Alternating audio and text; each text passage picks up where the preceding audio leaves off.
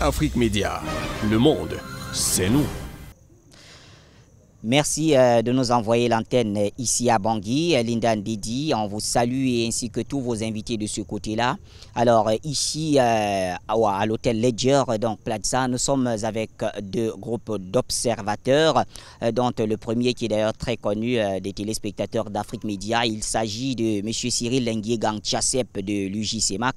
Il est à la tête donc de cette autre coordination du MOEC, le mouvement des experts, des observateurs experts électoraux de la CEMAC, venu ici en Centrafrique dans le cadre des élections couplées législatives et présidentielles. Cyril Nguyen-Gantiassep, bonsoir. Bonsoir, M. Bachir. Et merci de nous faire l'honneur hein, de partager ce plateau en direct de Bangui. Merci aussi euh, à Afrique Média qui ne cesse de faire confiance aux Africains.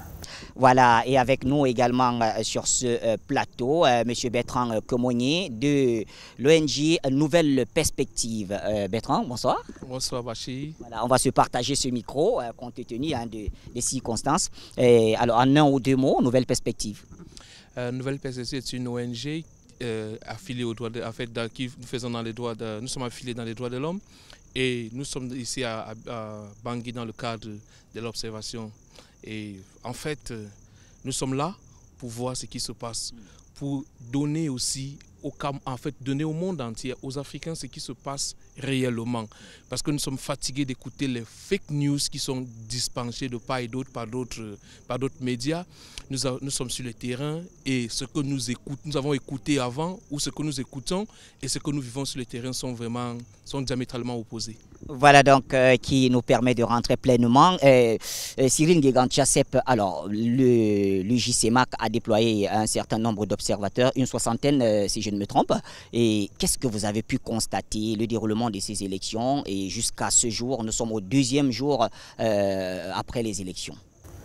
Merci M. Bachi. Je pense que depuis la convocation du corps électoral, le JCMAC, qui est une organisation sous-régionale, à plusieurs titres s'est intéressé à cette élection parce que vous saviez, euh, il était donné par des chaînes euh, étrangères, entre parenthèses, qui n'aiment pas l'évolution de l'Afrique, que l'élection ne devait pas avoir lieu, qu'il y avait des cas de, de, bandes d'armées qui avançaient, ci et ça, pour créer l'abscose. Mais Dieu merci, l'État centrafricain a tenu bon. Et nous les avons suivis depuis, comme je le disais tantôt, la convocation du corps électoral. Nous sommes arrivés ici euh, depuis le 1er décembre. Nous avons suivi toutes les étapes des préparations de cette élection. Ça n'a pas été facile, mais Dieu merci, nous y sommes arrivés. Et ce que nous avons constaté, c'est que les Centrafricains en ont marre. Ils en ont marre de, tout le temps être ce peuple-là qui risque d'être le dernier de toute la planète Terre. Pourquoi? Parce qu'on les impose tout le temps euh, une rétrosection. C'est-à-dire, ils rentrent chaque fois que les pays fêtent les cinquantenaires d'indépendance, eux, ils vont fêter 50 ans en arrière tout le temps. Donc voilà, ils ont pris conscience et grâce à Afrique Media, qui est une grosse chaîne panafricaine qui est là pour édifier les Africains, nous avons compris beaucoup de réalités, surtout au niveau des enjeux d'intérêt que beaucoup d'États avaient au niveau de la RCA. Et aujourd'hui, Afrique Media a édifié à plusieurs titres cette population qui s'est enfin mise sur la route du réveil ils sont dans un éveil aujourd'hui spectaculaire. Parce que nous avons vu le dimanche, je vous dirais même aux États-Unis, même dans les pays dits les meilleurs en démocratie, il n'y a pas eu de file d'attente en termes de, votants, comme nous avons vu ici en RCA. Alors même les partis du pays où ces bandits, ces voyous dont on parle des bandes armées, ont voulu empêcher qu'il y ait vote, jusque-là, dès qu'il y a eu possibilité le soir, nos observateurs qui ont fleuré cet endroit ont vu un attroupement pas possible. Cela montre combien de fois ce peuple aspire à la liberté, aspire à bien vivre et à ne que vivre comme d'autres peuples. Donc nous disons simplement merci à Afrique Média et merci à la confiance que les Africains font à nous suivre. Voilà, et Bertrand Kemounier, vous avez également euh, déployé un certain nombre d'observateurs.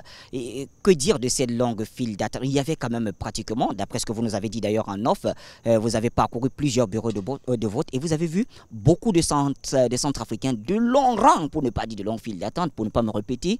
Alors, qu'est-ce qui pourrait, selon vous, justifier cette motivation des centres africains Vous pouvez tenir le micro.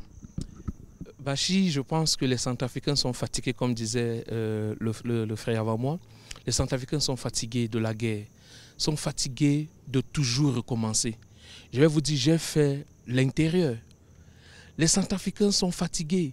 Même quand vous voyez les, ces, voyous, comme euh, disait le frère tout à l'heure. Vous me permettez, parlant de faire l'intérieur, alors euh, Bertrand Kemonnier fait allusion au trajet qu'il avait. Il est passé par route, donc du Cameroun jusqu'à Bangui. Je crois que c'est une précision. On est là à près de 700 km, je crois.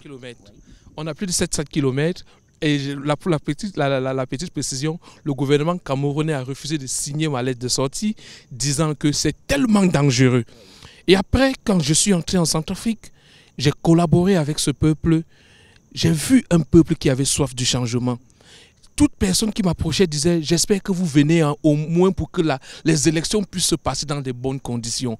Et pendant tout le trajet, quand je, communiais avec les Centrafricains parce qu'il fallait dormir ailleurs, on, de temps en temps on se rencontrait dans des petits endroits où on échangeait. Je leur posais quelle était, quelle était, votre, quelle était leur attente par rapport aux élections. Tout le monde voulait voir la Centrafrique changer. Et c'est cela, ça fait, ça m'a fait un bon cœur de savoir que mais, la lettre qui a été lancée, que la Centrafrique est en état d'alerte. Et le, la Centrafrique dans laquelle, je, dans, laquelle je suis maintenant, est-ce deux pays différents ou c'est le même pays dont j'ai suivi les informations? J'ai parcouru plus de 700 km, je suis allé d'endroit par endroit, j'ai vu des Centrafricains qui voulaient le changement. La preuve, dimanche, nous avons sillonné près de beaucoup de bureaux de vote nous sommes arrivés à un endroit où il y avait une maman qui avait sa carte, mais son nom avait un problème. Elle est venue nous supplier au moment du troisième âge. Nous supplier, s'il vous plaît, allez dire à ces gens, je veux voter. Bachi, j'ai failli couler les larmes. Pour dire, ah, enfin, voilà un peuple, le peuple qu'on dit qu'ils sont idiots, un bouc. Non, c'est un peuple qui veut le changement. Et ils ne veulent pas le changement par les armes, ils veulent le changement par les urnes. C'est pour ça qu'ils sont sortis nombreux ce jour. Et, euh, pour la petite histoire, Bachi, je suis parti du bureau de vote où on, on a fini le dépouillement à 23h30. À 23h30 ce jour. Vous pouvez imaginer. Donc ça veut dire que c'était tellement... Il y avait beaucoup de bulletins de vote. Les, les, Centrafricains dans l'ensemble ont répondu présent et les élections se sont passées dans l'ensemble dans le calme. Je vais remercier le gouvernement centrafricain pour tout ce qu'ils ont fait. Je vais remercier l'armée parce qu'ils ont quand même rassuré la population. Ils ont rassuré la population. La population est sortie parce qu'ils se sont quand même, ils se sont sentis sécurisés. Les partenaires militaires qui étaient là pour quand je me dis que quand un Centrafricain voyait l'armée, il disait enfin, je peux me cacher derrière celui-ci pour aller voter et que demain, quand j'irai voter dans les années à venir, je n'aurai plus besoin de me cacher derrière l'armée pour aller voter. Voilà donc euh, qui est dit, Cyril Nguegan-Chassep.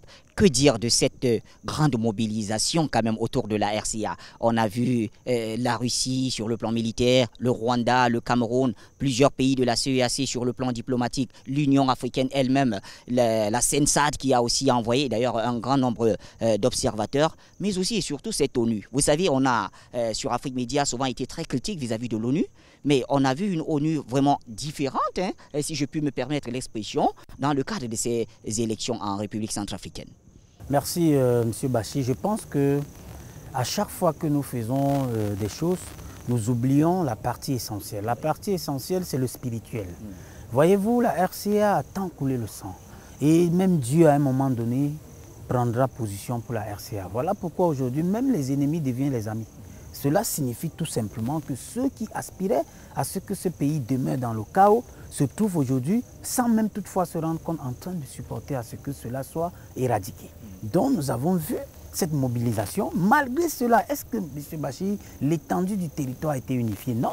Voilà pourquoi nous continuons d'être vigilants, de dire qu'à l'ensemble de la communauté nationale surtout, d'être vigilants, d'être très vigilants parce que il y a toujours ces personnes-là attachées dans le noir qui tirent les ficelles. Pourquoi nous le disons? Parce que nous avons entendu des informations, nous avons vu même sur le terrain certains types de personnes qui restaient sceptiques à l'organisation de ce que visuellement ils voyaient réussir. Et qui disaient encore ça n'a pas marché. Mais voyez-vous, donc cela veut dire qu'il y a des mains noires qui continuent de circuler en plein jour. Donc soyons et restons vigilants. Et vous savez, aujourd'hui, il n'y a pas d'amitié entre les États. C'est une question d'intérêt. Ah vous m'aidez, c'est parce que vous attendez quelque chose. Alors, par conséquent, nous, Africains, nous ne devons pas faire comme si nous jetons en dévolu dans la main des gens qui arrivent. Mais nous devons nous mettre dans une position de gagnant-gagnant, c'est-à-dire en étant vigilants. Parce que si nous ne le faisons pas, j'insiste sur le mot vigilant, parce que ne nous endormons pas, parce qu'on dira que non, c'est des anges qui sont venus. Mais nous les disons merci. Merci parce que ça nous fait gagner en économie de mort. Et rien ne vaut la vie humaine. Je l'ai dit tantôt, précédemment dans les émissions euh, d'Afrique Média, que généralement, quand vous regardez l'Occident qui prétend nous enseigner la démocratie, quand un citoyen tombe, les drapeaux sont en berne. Mais chez nous, on rase des villages. Ils disent que les rebelles ont fait ci, étaient de passage. Ça devient toute une spéculation. Donc, voyez-vous, les morts africains sont différents des morts occidentales. Donc, il faut faire attention.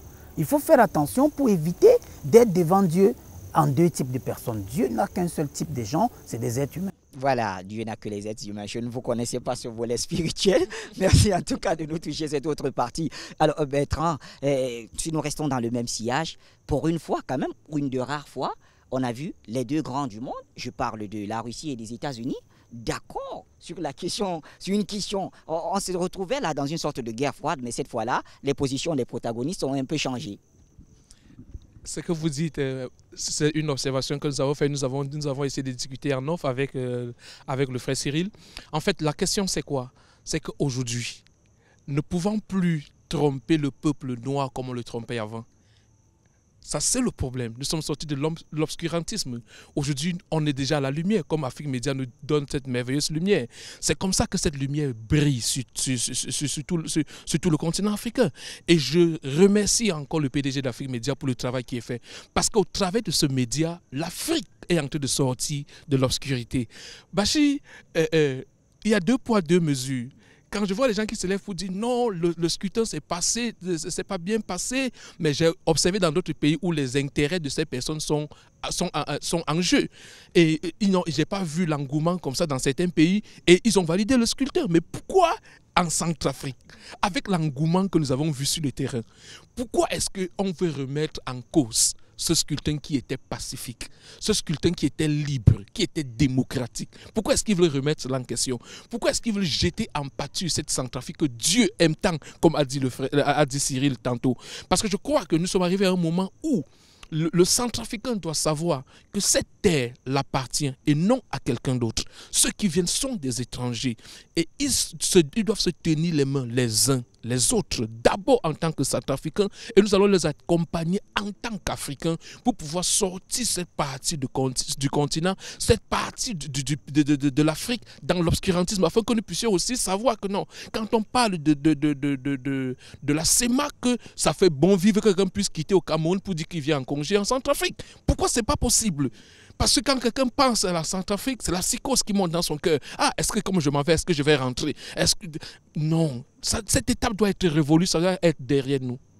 Voilà, une étape qui doit être derrière nous, c'est peut-être notre dernière articulation. Cyril Nguegan Chassep, euh, je voudrais, en attendant bien sûr les résultats, il faut bien rappeler quand même à nos téléspectateurs que euh, selon les informations que nous avons, les résultats, provisoires seront donc proclamés par l'autorité nationale des élections, l'ANE, en date du 4 janvier. Mais en attendant, au fil des jours, nous aurons des résultats euh, dans des sous-préfectures, de chaque sous-préfecture, bureau par bureau, c'est ce que nous a promis l'ANE. Alors en attendant tout cela, Cyril, on ne va pas quand même sortir sur une note dure vis-à-vis -vis des uns et des autres.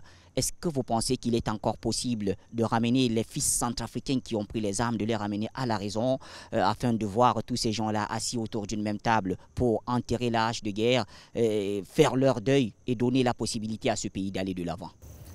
Oui, euh, merci Bachi, parce que ça c'est une question aussi très pertinente. Pourquoi? Parce que je pense que même dans le jargon simple, on dit vaut mieux un, un arrangement à l'amiable un bon procès. Cela veut dire simplement que la recherche de la paix ne se fait plus que par le dialogue que par la violence. Donc nous pensons que puisque la Centrafrique appartient à tous ses enfants et que d'aucuns sont fautifs, la loi, certes, est là, la justice est là, mais fera son travail. Mais qu'à cela ne tienne, le gouvernement, je pense, si me trompe, l'a toujours dit dans ses communiqués, il reste toujours à ce que la place soit donnée à la négociation. Ça, c'est déjà un gouvernement. Toujours un bras tendu, une main tendue de la part du régime en place. C'est très important parce que vous regardez, aujourd'hui, on ne fait que fatiguer ce gouvernement avec trop de questionnements, alors que des indices sont là et clairs. Si ça aurait été dans d'autres pays, je ne pense pas que l'ancien chef d'État aurait foulé le sol de cet état, ce pays. Vu ce qui lui était reproché et vu les mandats qui lui étaient adressés comme mandat d'arrêt. Donc voyez déjà à partir de là que cet État, c'est un État qui est justement dans tous les sens. Ils sont prêts à donner tout ce qu'ils ont pour qu'il y ait la paix. Donc, et, et, actuellement, le gouvernement qui est là, ils sont clairs. Nous remplissons nos deux mandats si Dieu le veut et nous nous en allons. Donc ça veut dire que c'est des patriotes, c'est des personnes qui ont compris l'endurance, l'enjeu et tout ce que ce peuple a traversé. Donc nous pensons que pour les Centrafricains, c'est une chance, je le dirais, d'avoir des grands hommes comme à la tête aujourd'hui, le président Archange Touadéra, comme un fils digne de ce pays qui n'est qu'à la recherche de la stabilité. Merci à vous Cyril Bertrand. Un dernier mot justement sur ce volet, dialogue, paix, réconciliation entre fils et filles centrafricains. Je crois que c'est possible. Je crois que c'est possible. Tout ce que, si j'ai un conseil à donner aux Centrafricains, c'est de cesser de, se laisser. Ils se sont laissés instrumentaliser pendant longtemps. Ils doivent sortir de ce sommeil et savoir que jamais quelqu'un ne va leur aimer mieux qu'eux-mêmes. Donc les Centrafricains doivent enterrer la, la, hache de guerre, venir sur une table, discuter. Dans tous les pays du monde, on ne s'entend pas toujours. Même dans les familles où nous sommes du propre sang, il y a parfois des disputes. Mais l'essentiel, c'est de savoir où est-ce qu'on va? La Centrafrique est un pays où ils doivent se tenir les mains ensemble pour bâtir ce pays, pour élever ce pays et faire de ce pays un, un futur Eldorado. Voilà, donc merci à vous, euh, Bertrand euh, Kemonye. Merci à Cyril Nguyegan Mesdames et messieurs, vous l'avez suivi donc euh, en direct de Bangui, la capitale centrafricaine. L'enjeu d'une grande mission comme celle d'Afrique Média est surtout un enjeu de paix, de réconciliation, de pardon et surtout de justice, puisque le mal a été fait également. Linda Dedi, à vous le studio. Afrique Média, le monde, c'est nous.